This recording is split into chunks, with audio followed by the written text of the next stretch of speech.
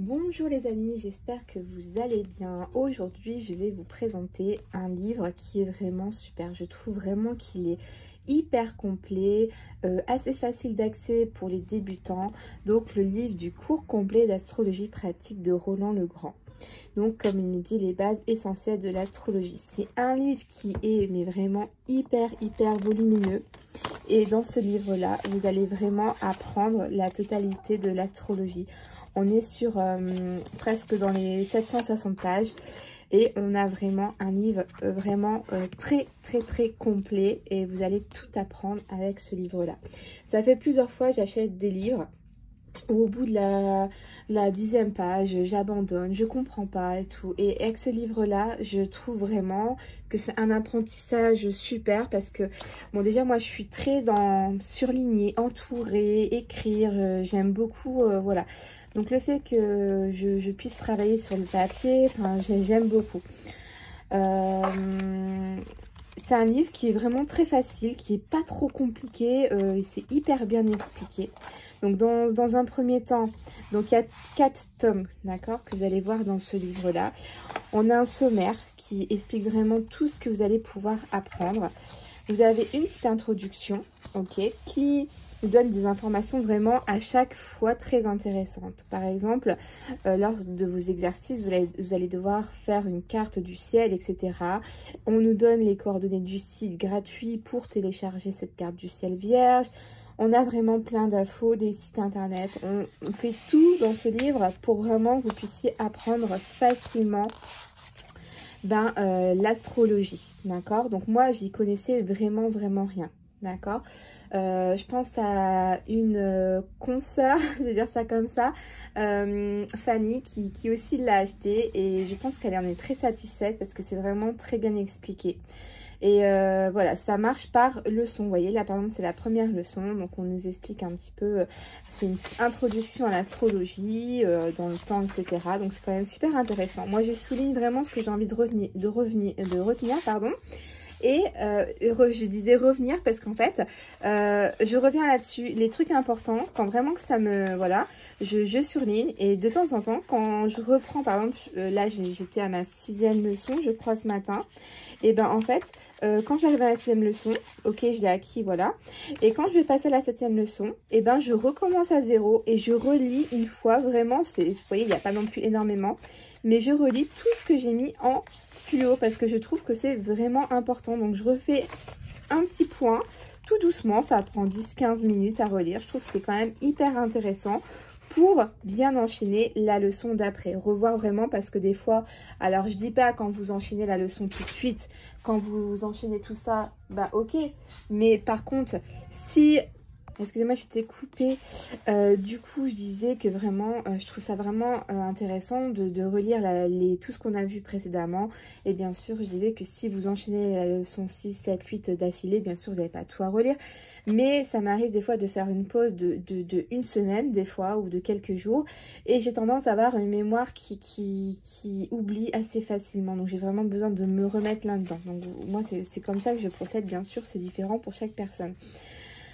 Donc ensuite dans la leçon 2, vous allez voir vraiment, c'est un cours très important celui-là je trouve parce que vous allez apprendre tous les signes astrologiques, les planètes qui sont en lien avec les signes astrologiques, les symboles qui sont vraiment très importants en astrologie quand vous allez faire votre carte du ciel, tout ça. Donc c'est là cette leçon là elle est quand même euh, je l'ai acquis mais comme j'oublie à chaque fois que quand je fais des posts de quelques jours j'oublie les motifs je reviens vraiment toujours là dessus et à force à force ça, rentre. Il n'y a pas de souci là dessus donc c'est vraiment quelque chose de très important de, connaître ces signes etc donc euh, voilà. C'est un cours hyper important celui-là. Donc encore une fois je surligne tout. Et voilà c'est là tous les signes que vous allez devoir apprendre les 12 signes donc ensuite, on a, j'aime bien, parce qu'on a des petits récapitulatifs où on peut limite l'imprimer et se faire un petit cahier beaucoup moins condensé avec vraiment euh, les fiches très importantes que vous allez pouvoir découvrir dans ce livre. D'accord? Euh, voilà, vous avez également les périodes zodiacales, hein, donc c'est tout ce qui est signe astrologique. Euh, c'est hyper intéressant c'est hyper intéressant. Euh, les dates, etc. Donc euh, voilà, donc ça c'est pareil. Hein. Je pense que je vais me faire un petit cahier beaucoup moins condensé. Et quand je veux vraiment des indications bien précises, je pourrais prendre dans mon petit cahier vraiment les, choses les plus importantes. Troisième leçon, on parle des signes du zodiaque. Et avec un cours qui est très important, euh, très important par rapport, ben, on va nous apprendre pas mal de choses, euh, par exemple la croix euh, cardinale, euh, la croix fixe, la, croix mutable, si je ne me trompe pas. Enfin non, pas la croix mutable, mais... Enfin voilà, c'est pas évident de vous ressortir tout d'un coup comme ça, mais on va parler d'ascendant, descendant, de fond du ciel, milieu du ciel. On va vraiment parler de tout, des signes aussi. Voilà, ce, petit dessin, il est vraiment très important parce qu'on réunit plusieurs cours en un dessin et je le trouve vraiment très important. Donc on va parler des signes astrologiques, donc chaque signe, euh, moi je prends beaucoup de notes, j'écris sur mes livres, donc c'est vrai que je pourrais jamais les revendre, ou si je les revends, hein, ce sera vraiment pas cher parce que j'écris. Et moi pour retenir j'ai vraiment besoin d'écrire énormément sur mes livres. C'est vraiment euh, comme ça que je retiens. Et euh, donc voilà vous avez chaque signe et on donne vraiment plein d'informations sur ce signe. Bien sûr, bien évidemment, on est dans l'archétype. Chaque gémeaux ne va pas automatiquement euh, faire ci, faire ça, nanani, nanana. Vous voyez ce que je veux dire? On est vraiment dans le général. Euh, c'est comme lorsqu'on fait un tirage sur euh, YouTube ou, ou, ou, enfin n'importe tout, sur n'importe quelle plateforme. Si on fait un tirage pour les gémeaux pour le mois d'avril, bien évidemment, on vous le redit tout le temps, euh, c'est pas parce que euh, on dit ça que ça va arriver à tous les gémeaux. C'est vraiment du général. Ça peut vous parler comme pas du tout vous parler parce que on a des ascendants, des descendants, tout ça qui vont jouer aussi là-dessus. Donc euh, c'est pour ça que c'est vraiment du général et ça peut pas parler à tout le monde. Faut faire vraiment des tirages beaucoup plus ben, personnalisés si vous voulez. Donc on a les signes astrologiques.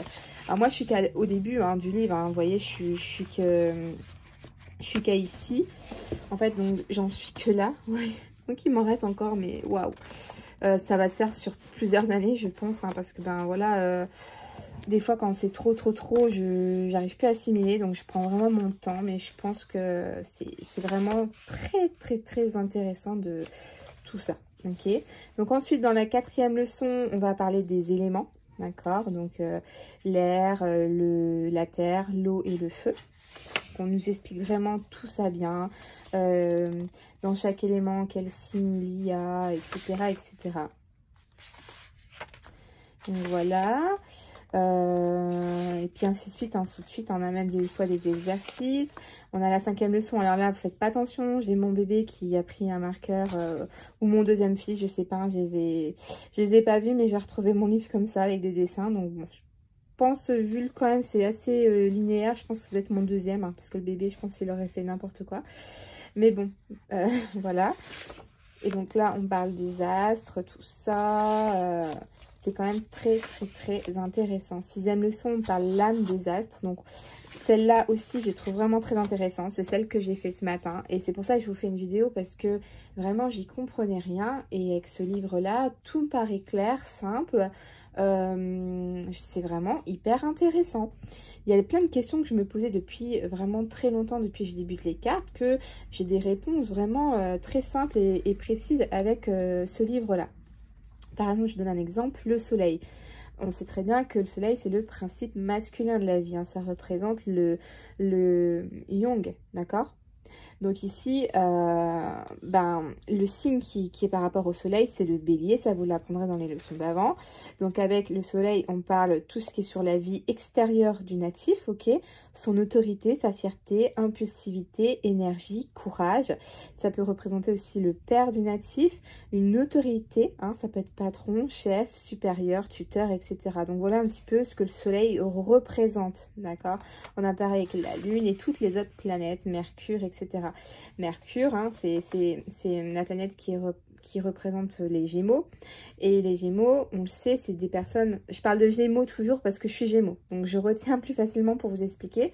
Et on parle de principes intellectuels de la vie pour les Gémeaux avec la planète Mercure parce qu'on sait que les Gémeaux sont des personnes très intellectuelles qui, aiment vraiment beaucoup apprendre, ils sont curieux de tout, ils aiment bien faire beaucoup de choses euh, et du coup, vous voyez, Mercure, on parle d'intelligence, de faculté mentale, d'expression intellectuelle, ils sont dans la communication, donc vraiment, ils aiment bien communiquer, etc., etc. Donc voilà un petit peu, je trouve ça vraiment très intéressant. Encore une fois, on nous représente les symboles pour qu'on puisse vraiment, au fur et à mesure des cours, revenir toujours là-dessus et les assimiler au fur et à mesure. Je prends toujours des notes hein, sur euh, mes cahiers. On a le petit récapitulatif en fin de leçon, très intéressant, que vous pouvez photocopier et rajouter à chaque fois dans votre petit cahier. Et euh, ainsi de suite, ainsi de suite. Et là, moi, j'en suis arrivée à la leçon 7. Donc là, dans cette future leçon, je vais apprendre les astres dans les signes. Donc c'est quand même euh, très intéressant. J'ai hâte de, le faire. Mais bien sûr, avec trois enfants, plus mon travail, vous comprendrez que ben, j'ai besoin de calme pour bien comprendre.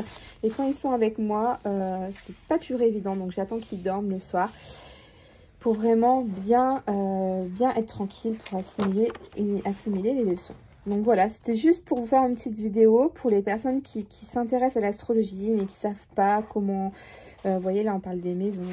Donc les personnes qui savent pas comment s'y prendre, comment commencer, etc. etc.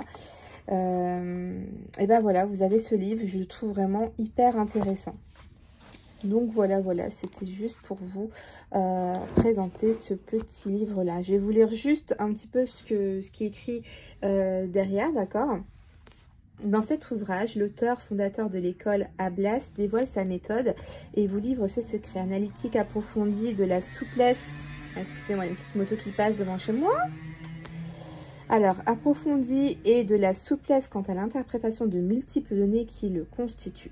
Grâce à ce livre qui regroupe les quatre tomes par ailleurs en vente sur le site internet Amazon, parce que apparemment vous pouvez acheter euh, les quatre tomes séparés, je crois. Là, moi, j'ai tout pris d'un coup. Vous apprendrez, c'est une quarantaine d'euros si je ne me trompe pas, 40 hein, euros.